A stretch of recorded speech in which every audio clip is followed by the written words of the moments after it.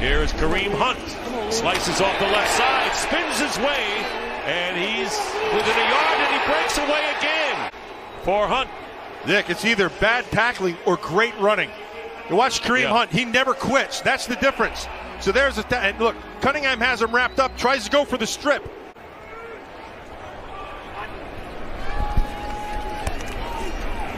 And this pass to Hunt out of the backfield. And I think that was the, what they wanted to do with him after the bye week to direct more of that. Here is Hunt.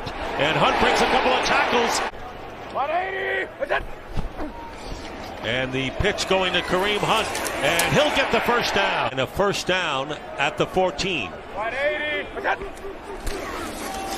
Gonna run it again, and it's Kareem Hunt finds an opening. Another first down.